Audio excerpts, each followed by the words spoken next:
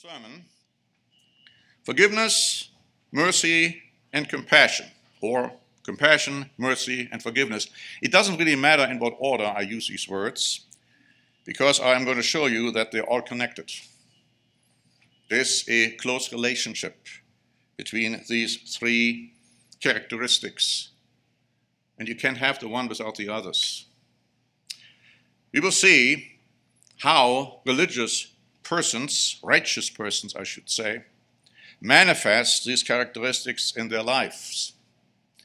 We will see that we, as God's people, have to be truly merciful, we have to be moved with compassion, and we have to be ready to forgive. And we will also see that in this world, none of that exists. And how unrighteous persons show that they don't have any of it. And so I like to start with showing you how God looks at this world and how he looks at this country in particular. And we find this testimony by God in Hosea chapter 4, verses 1 to 3. Hosea chapter 4 and verse 1.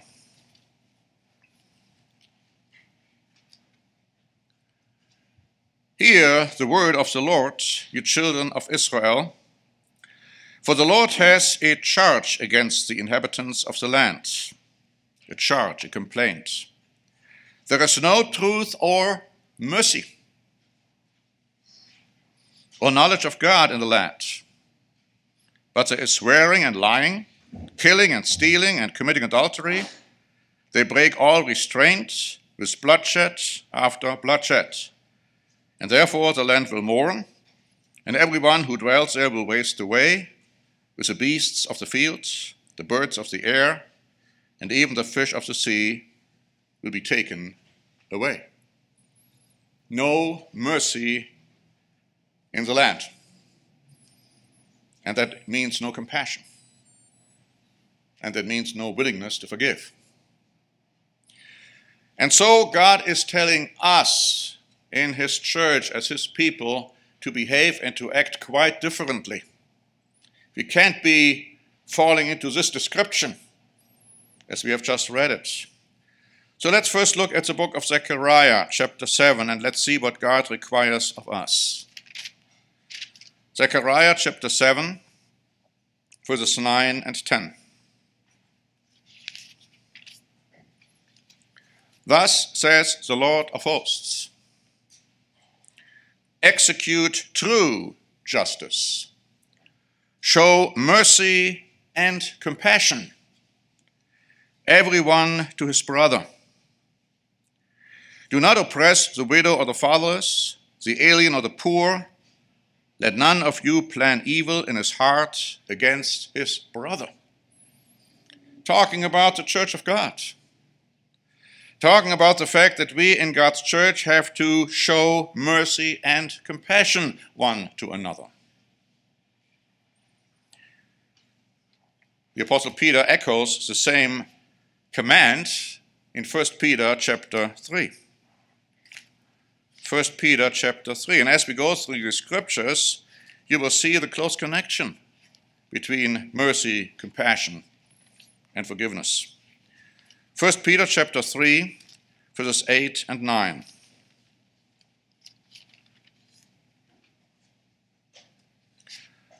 Finally,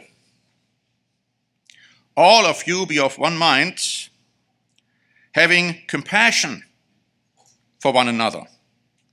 Love as brethren, be tender hearted, be courteous.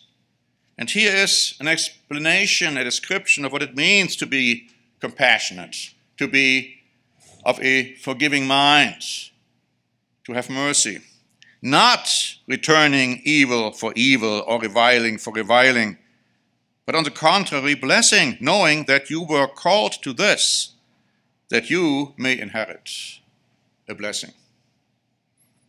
Quite a contrast to the description of the world as we have just read it in the book of Hosea.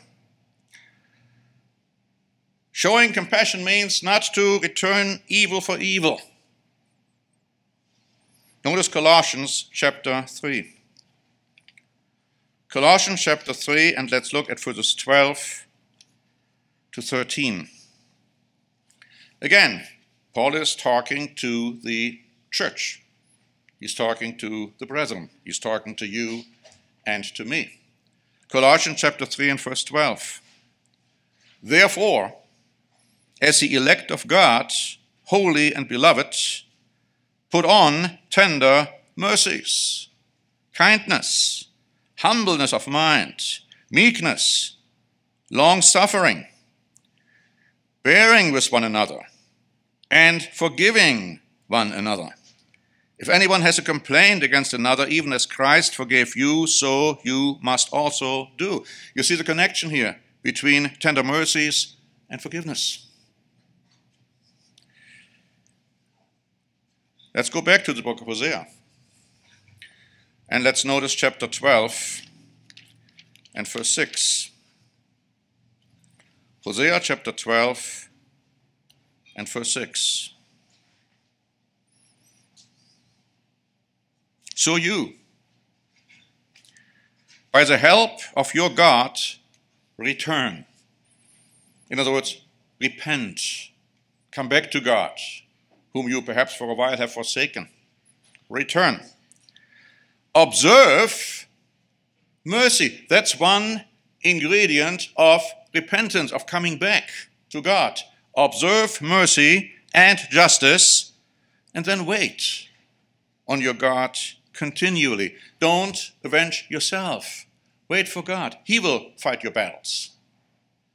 That's not your duty to do so. Many times we think we have to. No, you wait for God. He will fight your battles. And so, what I'd like to do now is to give you some examples at what it means to observe mercy, what it means to show compassion, what it means to love God and neighbor. And of course, you cannot love God and neighbor without having mercy, without having compassion, and without having the willingness to forgive. A very famous example is the parable Christ gave regarding the quote unquote good Samaritan. In Luke chapter 10, you find that parable. And I don't want to read the entire parable, but let's notice in verse 25 how it starts. Luke 10 and verse 25.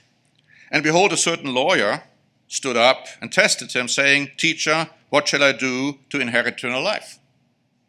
Good question, right? And he said to him, What's written in the law? I mean, you're a lawyer, you should know, right? What's written in the law? What is your reading of it? And so he answered and said, You shall love the Lord your God with all your heart, with all your soul, with all your strength, and with all your mind, and your neighbor as yourself. And Christ said to him, You have answered rightly. Do this and you shall live. You shall, shall inherit eternal life. Of course, he wanted to justify himself and said, Yeah, but who is my neighbor?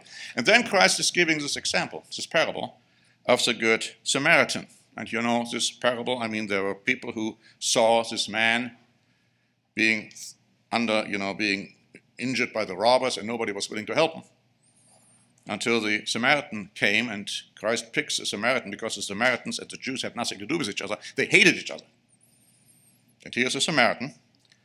And he, if he hated the Jews, I don't know, but anyhow, he forgot his hate, so to speak, and he helped this man, this robber. And he uh, is a man who fell under the, under the robbers. And so he took care of him. And so Christ then asked a question, verse 36. So which of these three do you think was neighbor to him who fell among the thieves? And before he is asking the question in his parable in verse 33, he said, A certain Samaritan, as he journeyed, came where he was, and when he saw him, he had compassion on him. So here we have the concept of compassion. And now he's asking the question, well, who was the neighbor? And so in verse 37, he said, He who showed mercy on him. So here again we have compassion and mercy combined. And then Jesus said to him, Go and do likewise. And that is how you love God and your neighbor, helping your neighbor if the neighbor is in need, showing him mercy, showing him compassion, even if you have some grudge with him, perhaps. In Matthew chapter 23, Christ is making a very foundational and fundamental statement when it comes to mercy. Matthew 23 and verse 23. And he's talking to the scribes and the Pharisees, and he could have added the lawyers here. Woe to you, scribes and Pharisees, hypocrites! For you pay tithes of mint and anise and cumin and have neglected the weightier matters of the law justice and mercy and faith. And these you ought to have done. He does, wasn't going away and doing away with the tithing, but he says without leaving the others undone. So mercy is one of the weightier matters of the law. It's important. Much more than sacrifice is important. Because he makes that point too in Matthew chapter 9 and in verse 13. Matthew 9 and verse 13. Because he was accused of eating with people who were looked down on, sinners. And he had just said, well, you know, those who are well have no need of a physician, but those who are sick. But then he says in verse 13, but go and learn what this means. I desire mercy and not sacrifice. Not the outward appearance of rituals, of traditions. No, he wants the mercy from the heart, as we will see. That's what he desires. And he goes on to say, For I didn't come to call the righteous, but sinners to repentance. So mercy should be extended to sinners whom Christ came to bring them to repentance.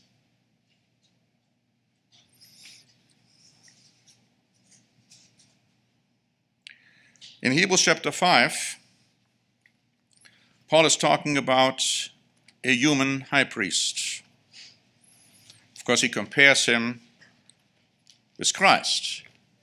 But I want to look at Hebrews chapter 5 and verse 2 insofar as the comment regarding the human high priest is concerned. And I guess we can identify with that person. And he says in Hebrews 5 and verse 2 He can have compassion on those who are ignorant and going astray, since he himself is also beset by weakness. You see, we all were ignorant at one time. We all went astray at one time. We might do it now. We might do things now which are wrong. But since we realize that, since we see that, hopefully we do, understanding we have weakness, we then could have compassion on those who have the same kind of weakness maybe in different ways. Oh, I would never do what he does. I would never do what she does. Yeah, but what do you do? What do I do? That's where mercy comes in. Having compassion on those who are ignorant. Like Christ says, I came to call the sinners to repentance. Because of my mercy, I did that. Notice Luke chapter 15. Here's another interesting, famous parallel. It's a parable of the lost son. But again, let's look at the context. Luke 15.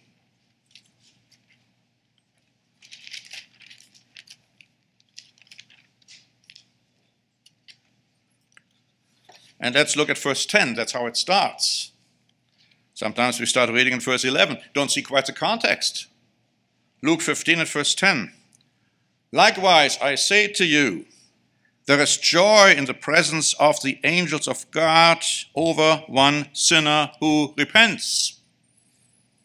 And then he gives a parable of the lost son. Of course, we know that parable. He leaves, he has the inheritance with him, and then he loses it all. There without any money, without any help, without anything, and then he says, Oh, I'll go back to my father's house. At least I had food there. And then he says in verse 18, that's what the son is saying, I will arise and go to my father, and I will say to him, Father, I have sinned against heaven and before you. Context is sinning and forgiveness and repentance. Verse 19 I am no longer worthy to be called your son. Make me like one of your hired servants. Verse 20. And he arose and came to his father.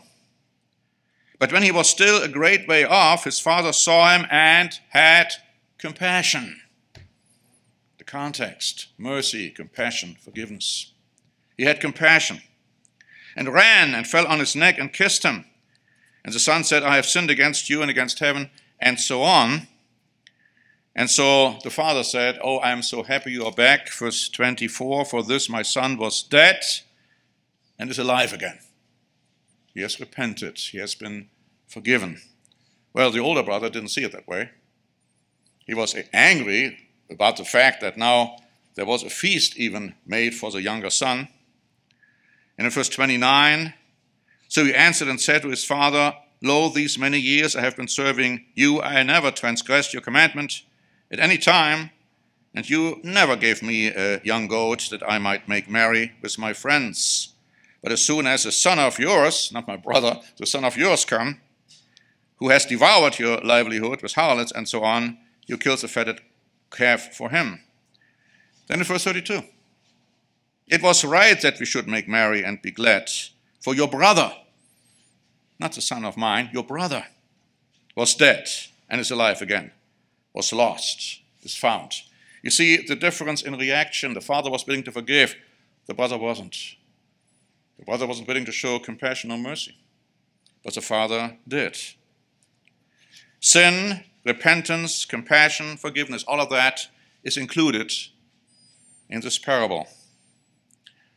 And after that introduction, so to speak, I'd like to talk about some examples how we can be without mercy, without compassion, without forgiveness, how we can live like the world does, and why God does not approve of such conduct. I'd like to go to the book of Proverbs now and read a few scriptures one of which Mr. Michael Link in his sermonette came awfully close to. He read the verse before and the verse behind, but not the one which I'm going to read in a few moments. But let's turn to Proverbs chapter 12 and verse 10. Proverbs chapter 12 and verse 10. Very famous scripture, actually, but look at the way it's being worded.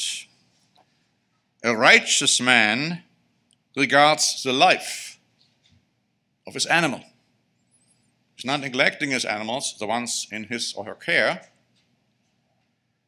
But the tender mercies of the wicked are cruel. Now, what exactly does that mean? The New American Bible, I believe, brings it better and clearer. It says, The heart of the wicked is merciless even towards animals. It's just a merciless person who doesn't have it in his heart to show mercy. In Proverbs chapter 16, Proverbs 16 verse 27.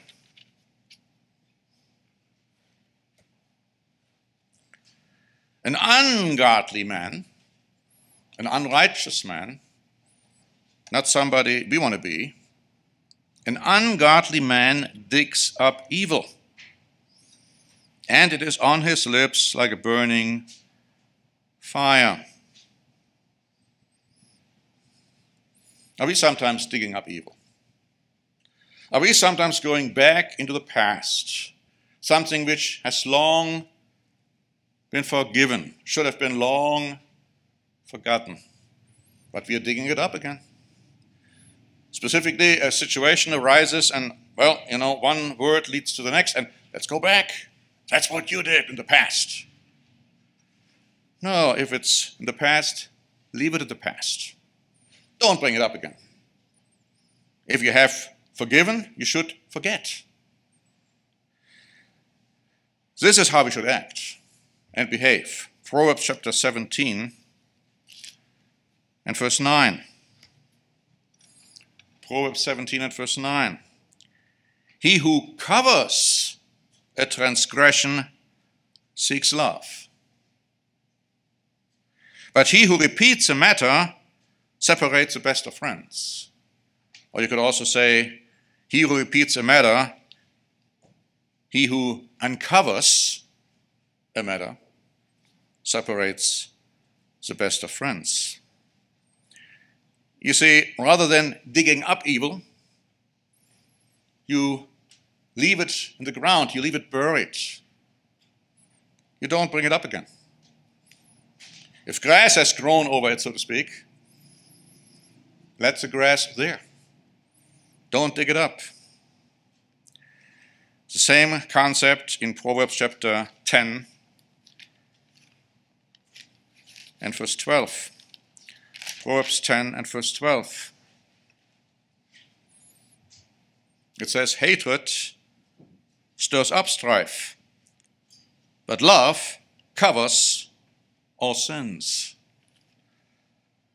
Cover it. Let it in the past. Don't bring it up again. It's the surest way of getting into a mentality and attitude of unwillingness to have compassion, unwillingness to have mercy, unwillingness to forgive. And again, notice Proverbs chapter 19 and verse 11. Proverbs 19 and verse 11. The discretion of a man makes him slow to anger, and it is to his glory to overlook a transgression. Interesting how the authorized version brings it to pass over a transgression. That's where the word Passover comes from. When we take the Passover, we want our sins to be forgiven. A reminder that Christ died for us. In the same way, we should pass over transgressions others might have committed against us. It is His glory to overlook those. It's not our glory to dig them up, to bring them back to the forefront of discussions. And also in Ecclesiastes chapter 7, notice what Solomon has to say about that. Ecclesiastes chapter 7, verses 21 and 22.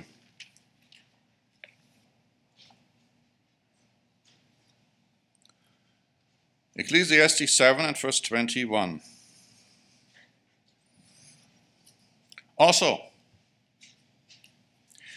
do not take to heart everything people say, lest you hear your servant cursing you. For many times also you own, your own heart has known that even you have cursed others. It's the thing of the high priest and the compassion he has because of his weakness, he can look at others because he realizes too, I'm not faultless. And so the same thing, the idea is like don't dwell on what people may say about you. The NIV explains it means don't pay attention to it. They talk about you, let them talk. Don't get bothered by it. And well, certainly don't get influenced by it and, you know, pass it on by thinking evil about others. That can easily happen. It's the surest way to lose compassion and tender mercies. Notice the book of James, chapter 2. James chapter 2 and verse 13.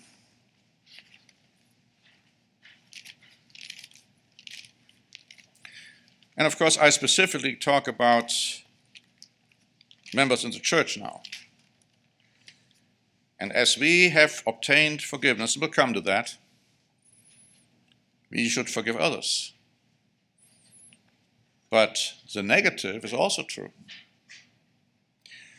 But first in James chapter 2 and verse 13.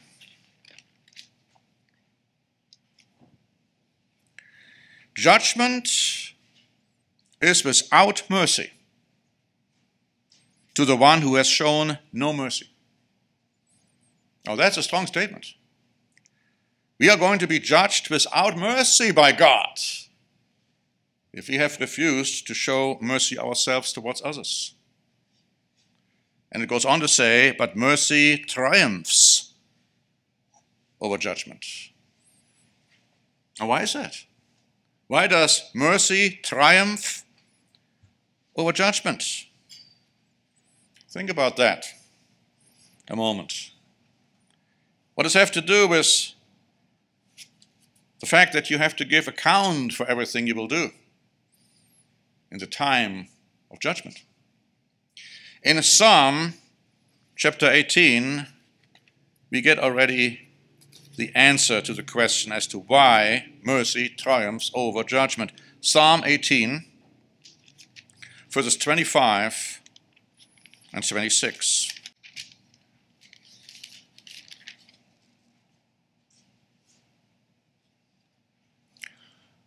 With the merciful, you will show yourself merciful.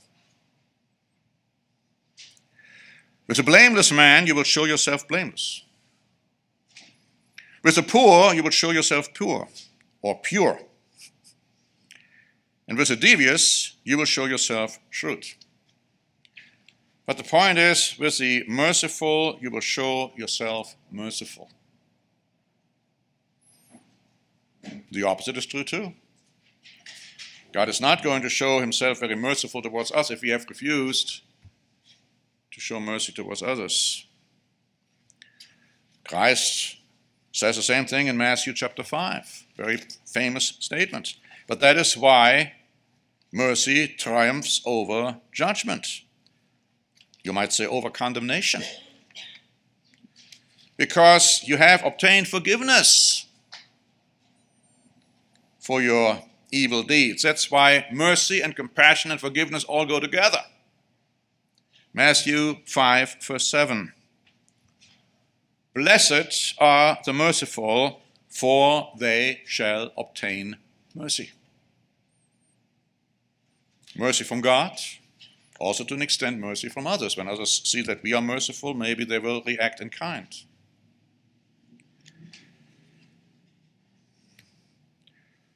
As I said, mercy leads to the forgiveness of sin. Now, that is also true for us. When we are merciful, when we are compassionate, we are much more able and willing to forgive others for their transgressions against us. Notice Proverbs chapter 28, because there is something called repentance which has to be looked into in connection with this. We understand that. In Proverbs chapter 28, and verse 13. Proverbs, uh, Proverbs 28 and verse 13. He who covers his sins will not prosper. But whoever confesses and forsakes them will have what? Mercy. We confess to God. We walk away from the sin we have committed and God will mercifully forgive us. Now, if we want to cover it, then of course we won't prosper, God is saying.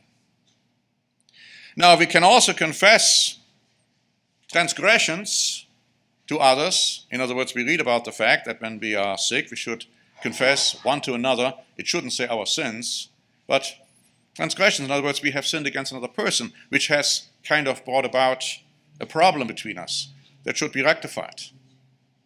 That's also something in order to bring about rectification and again a situation where people can deal with each other again.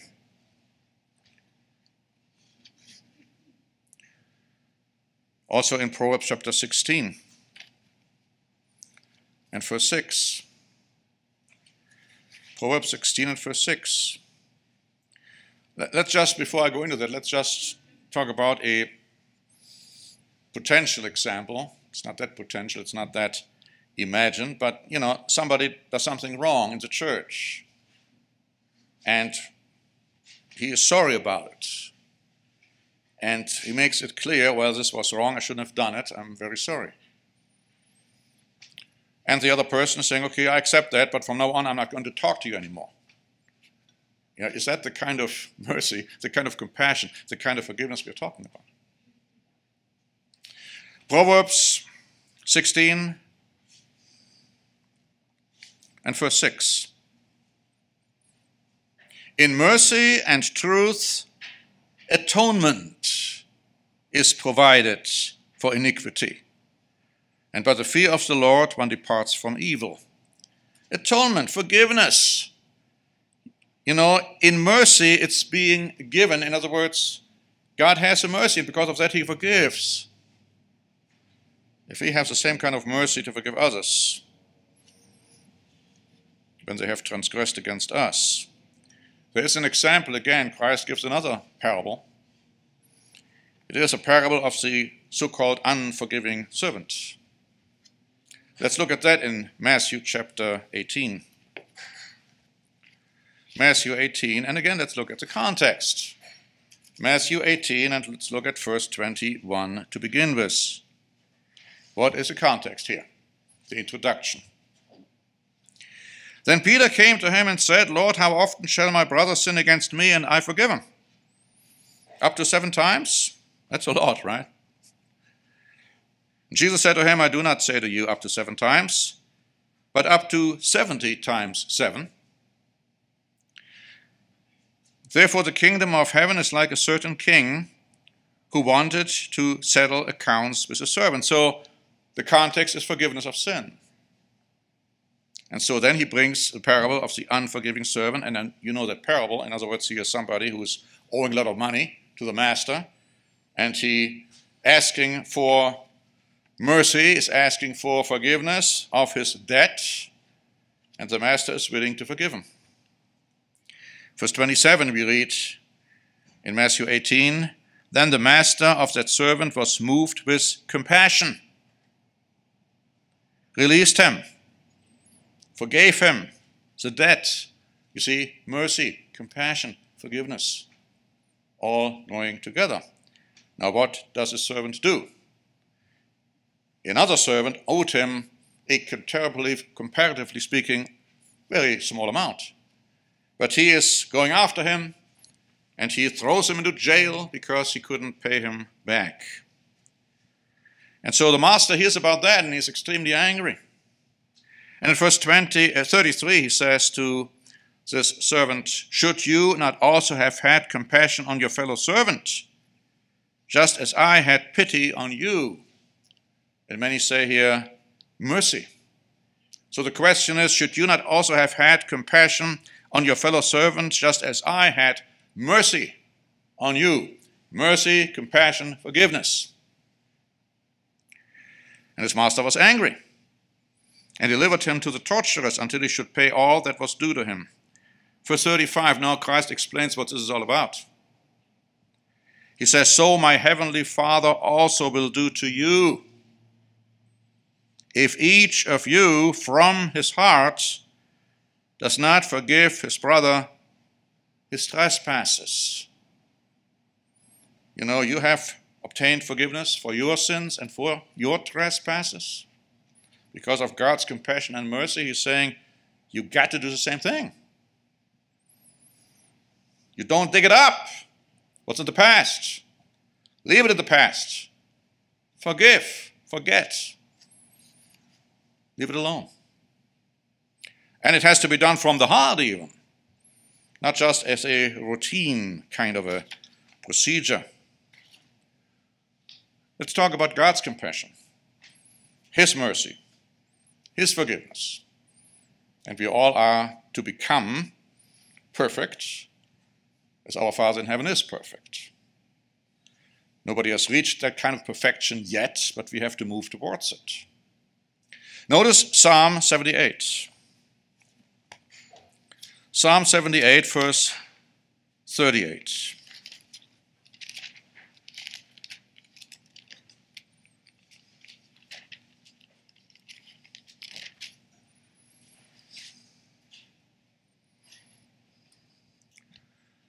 Talking about all the terrible sins the Israelites had been doing. For 38, but he, talking about God, Christ actually, being full of compassion, forgave the iniquity and did not destroy them. Because of his compassion, he forgave them. He overlooked what they had been doing, didn't bring about destruction on them at that point.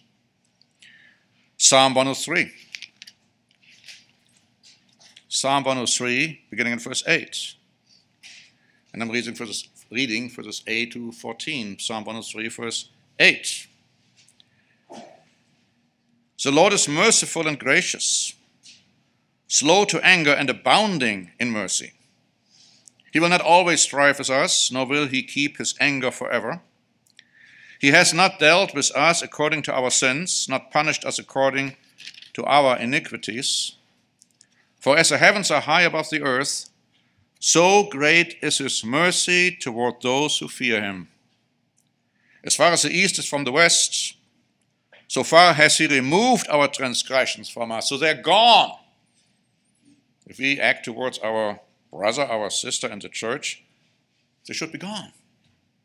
Don't bring them up again. Verse 13 As a father pities his children, so the Lord pities those who fear him, for he knows our frame. He remembers that we are dust. Well, God remembers that. we should remember that too. You know, you are all dust. So am I. Let's remember that. And none of us has reached perfection yet. None of us is sinless. None of us can say, Oh, I'm totally without sin, so why is this person not without sin? Micah chapter 7. Micah chapter 7, and let's look at verses 18 and 19.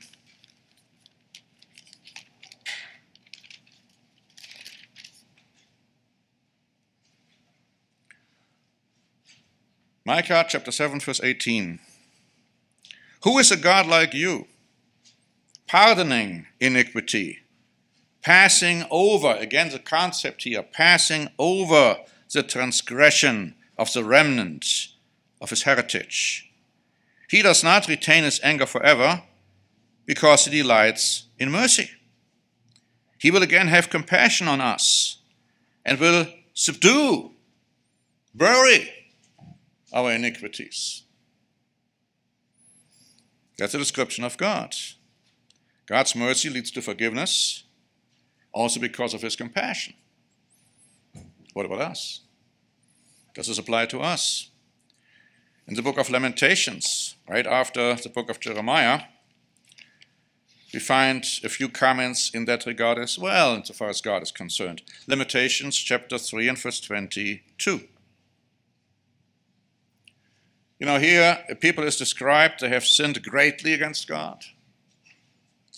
But what does Jeremiah say here? Through the Lord's mercies, we are not consumed, because his compassions fail not.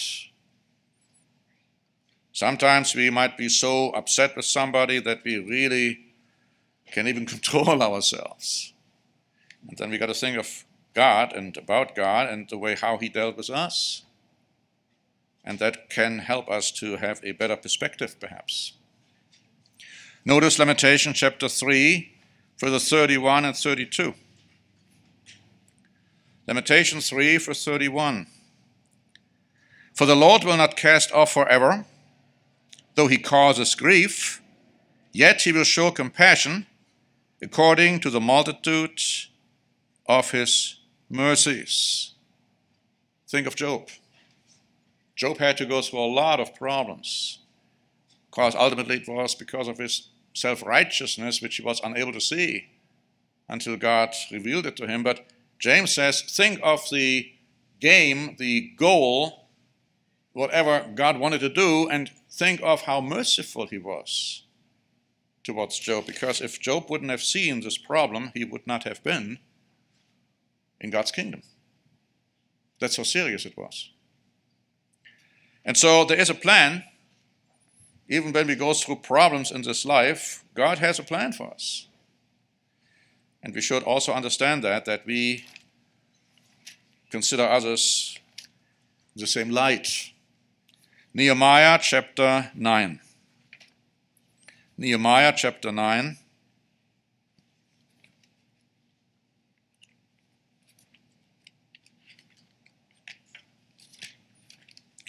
And let's note verse 17. Nehemiah 9 and verse 17.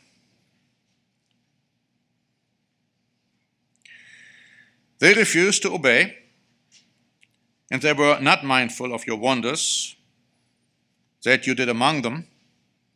They hardened their necks, and in their rebellion they appointed a leader to return to their bondage. I mean, total rebellion against God, right? How did God react? But you are God ready to pardon, gracious and merciful, slow to anger, abundant in kindness, and you did not forsake them. Even then, he didn't. Even then, he didn't. Now, if somebody acts towards us like that, would we react the way God reacted? We got to learn to be able to do that. Daniel chapter 9 and verse 9. Daniel chapter 9 and verse 9.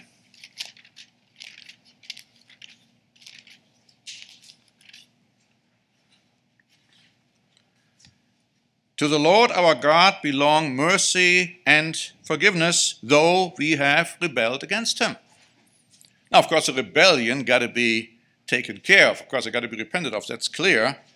But never think, because you have sinned greatly, God couldn't forgive you. You went beyond what God is willing to accept. Remember, Christ came to call sinners to repentance.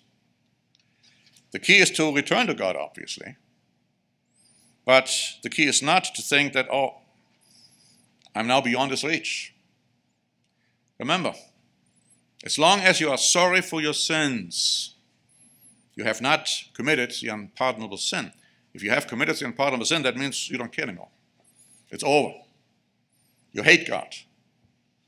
Now, of course, I do not believe that this applies to many, because some, unfortunately, do fall into that category.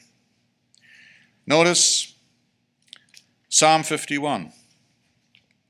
David understood that he had sinned, that he needed forgiveness,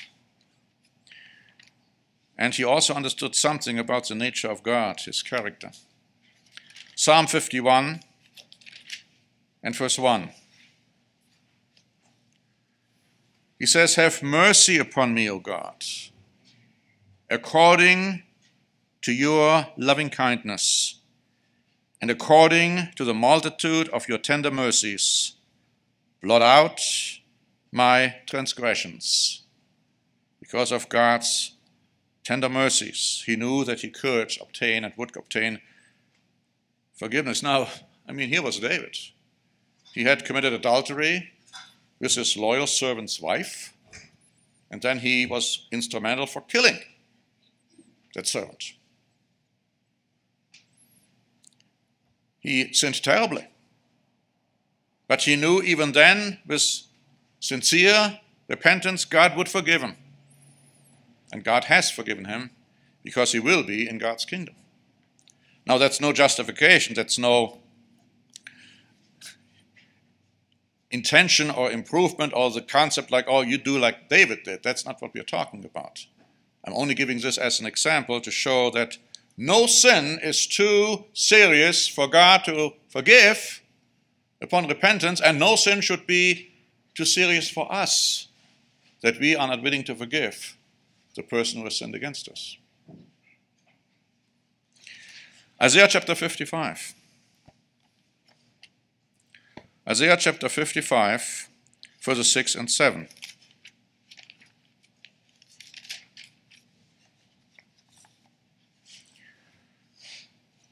Seek the Lord while he may be found. Now, there are some out there, might be even listening in, or maybe not listening in, but they might listen to the sermon later once we have posted them. They hear the words, we heard about hearing.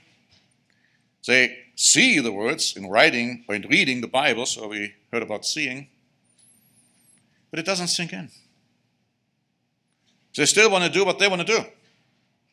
Never thinking in terms of, well, maybe I should be part of the body of Christ. They want to do their own individual lives, thinking this way they can get into God's kingdom. They don't need the church. And so God is telling them, Seek the Lord while he may be found. Call upon him while he is near. And Jesus Christ is the head of his church. You cannot be a quote unquote individual Christian and still think you can make it. Verse 7 Let the wicked forsake his way, and the unrighteous man his thoughts. Let him return to the Lord, and he will have mercy on him. And to our God, for he will abundantly pardon. Again, mercy and forgiveness going hand in hand. Luke chapter 6. Luke chapter 6, 35 to 37.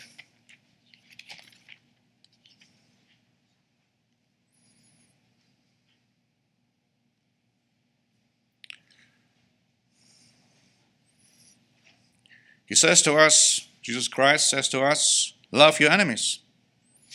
How do you do that? love your enemies. Do good and lend. See, you have the person falling under the robbers. In a sense, he was the enemy of that Good Samaritan. Because, as I said, they had no love for each other. Think in terms today the Jews, and the Palestinians the fight they're involved in. Would a Jew help a Palestinian if he's in need, or the other way around?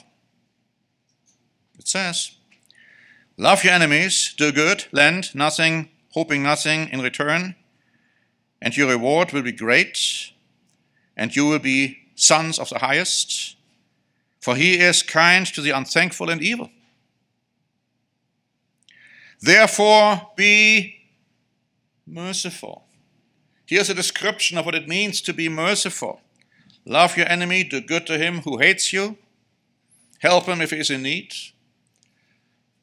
He is merciful just as, or be you merciful just as your Father also is merciful. Merciful towards you, merciful towards others. You know, we were God's enemies before He called us out of this world. So, loving your enemy showing mercy, don't judge, forgive. Because we go, go on to read in verse 37, after he just said, Be merciful, just as your Father is merciful, judge not. So apparently, judging is contrary to being merciful. Judge not, and you shall not be judged. Condemn not, and you shall not be condemned. Forgive, and you will be forgiven.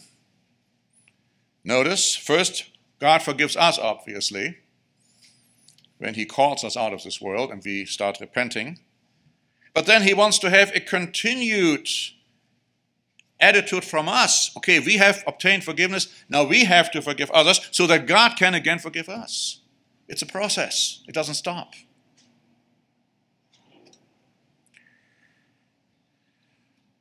And so, Let's talk a little bit about how to be merciful.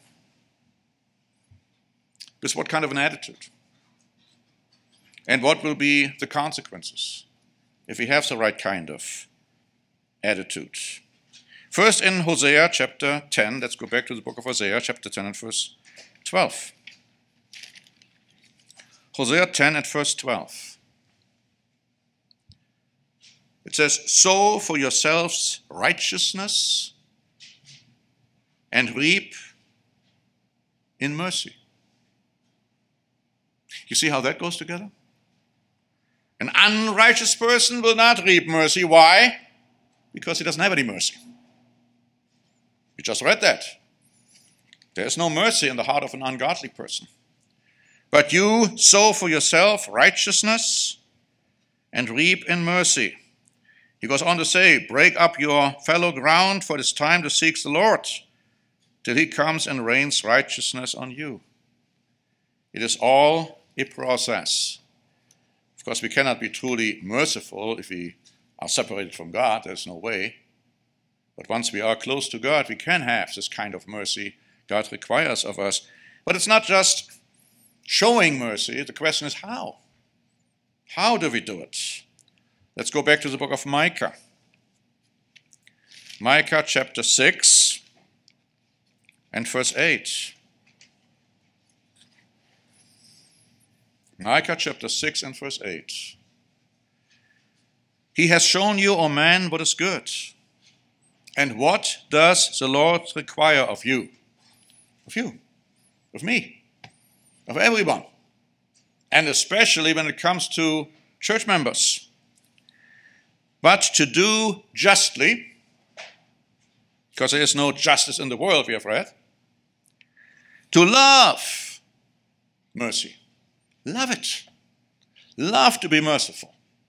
Not just do it because of routine, grudgingly. No, you love mercy, and of course, to walk humbly with your God because you understand hey, I'm not perfect, and I need your mercy and I'm willing to extend your mercy to others.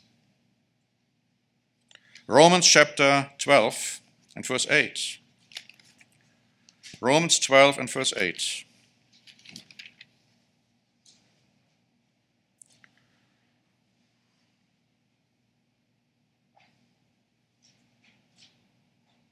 He who exhorts in exhortation, he who gives with liberality. He who leads with diligence. And he who shows mercy with cheerfulness. With cheerfulness. The New Jerusalem Bible says, because you enjoy doing it. In other words, you love mercy and you enjoy being merciful towards others. Does this describe us? Proverbs chapter 14 and verse 21. Proverbs 14 and verse 21.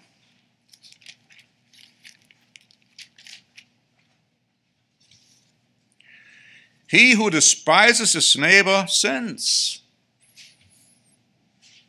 Who's your neighbor? Everyone you come in contact with is your neighbor. So you despise your neighbor, your friend, your brother, your sister, whatever it may be, your father, your mother, you sin, God is saying. But he who has mercy on the poor, happy is he. Again, you see, showing mercy with the right kind of attitude makes you happy. It lifts you up. Proverbs 14 and verse 31.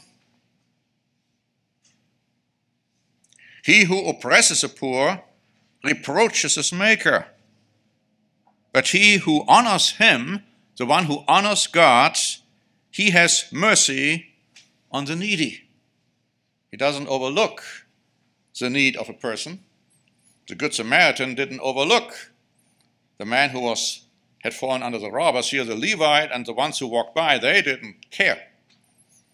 They didn't care. But he had mercy on the needy, and in doing this, he honored God. Or you could say, because he honored God, he did that. Another scripture in Proverbs chapter 14. In Proverbs chapter, uh, let's go to Psalm 37. Psalm 37 and verse 21. Psalm 37 and verse 21. Here's another interesting principle of a godly person and of a godless person. It says, The wicked borrows and doesn't repay. How many times have I given some of my stuff to others, loaning them stuff, and never seen them back? I remember in one case, it was actually a wife of a minister, and I had given her a book to read and then never heard anything, and so I ultimately contacted her because I really liked, liked, that, liked that book. Oh, you never gave me that book. I did. Oh, I don't know where it is.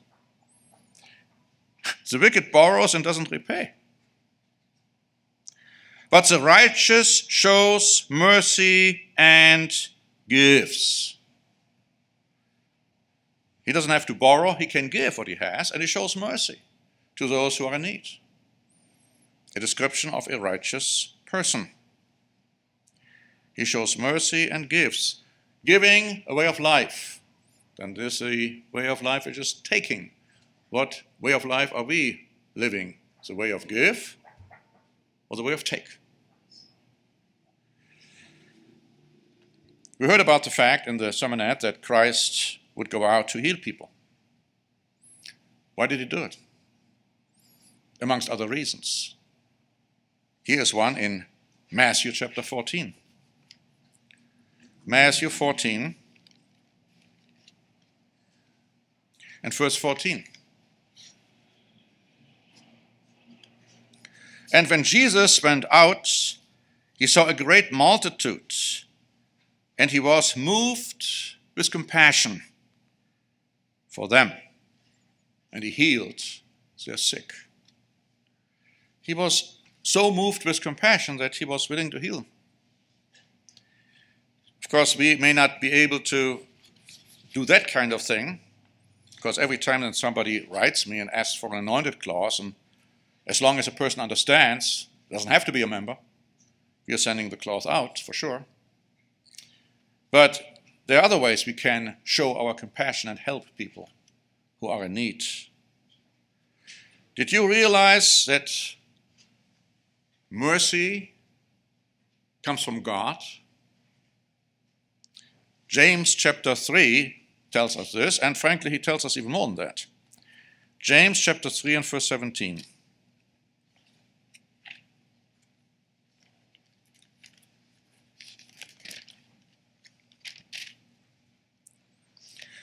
But the wisdom that is from above is first pure, then peaceable, gentle, willing to yield, full of mercy and good fruits, without partiality and without hypocrisy. So the wisdom from above is full of mercy. In other words, you understand that showing mercy is pursuant to godly wisdom. God tells you that's what you should do, and it's wise to do it. Why is that? Why is that?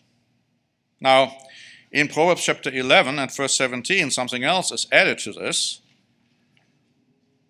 And of course, it goes back to what I actually had already covered earlier. Proverbs 11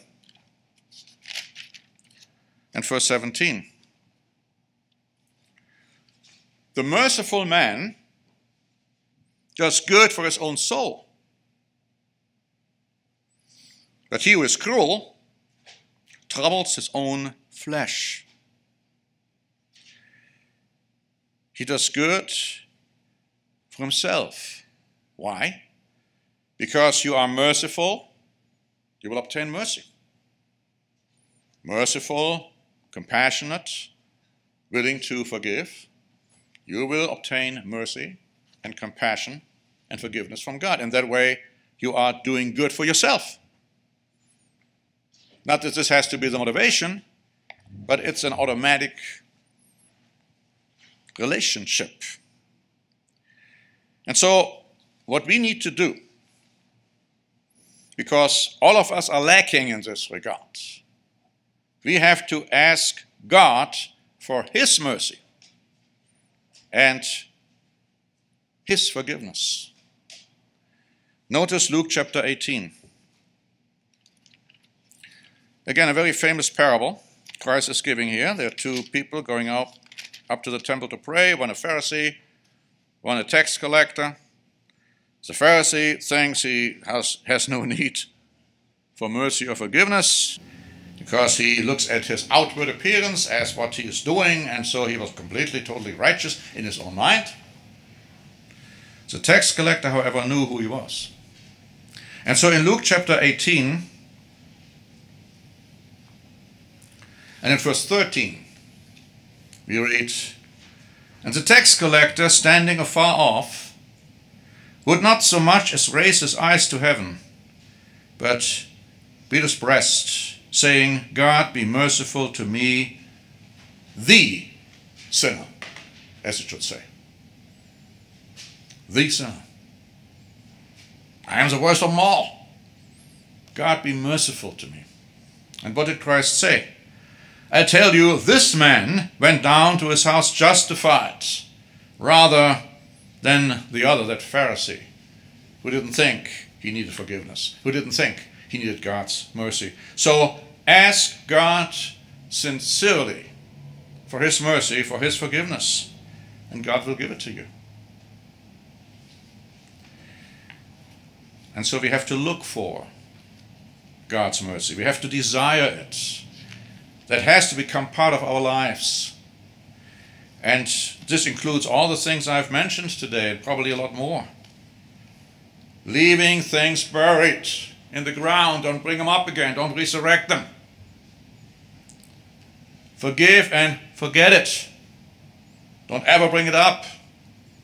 Luke chapter I mean, book of Jude, I should say. Jude, chapter 1, it's only one chapter, verse 21. It says, Keep yourselves in the love of God, looking for the mercy of our Lord Jesus Christ unto eternal life. As I said earlier, without God's mercy, without God's forgiveness, without God's compassion, which we are willing to display or play out, show with love, we won't, we won't reach the point where we'll obtain eternal life. And so in Luke chapter 1 and verse 50, in conclusion, we read this principle, which is important in order to obtain God's mercy and then having also that mercy in our heart to extend it to others. Luke 1 and verse 50. His mercy, God's mercy, is on those who fear Him, and that from generation to generation. In other words, without end. On those who fear Him, who respect God, who understand He is the one who has forgiven us so that's the reason why we need to forgive others. And that means then, extending mercy to others if we want to receive mercy from God. Let's keep that in mind. We need God's mercy. But God wants us to be merciful to others and especially to the members in His church.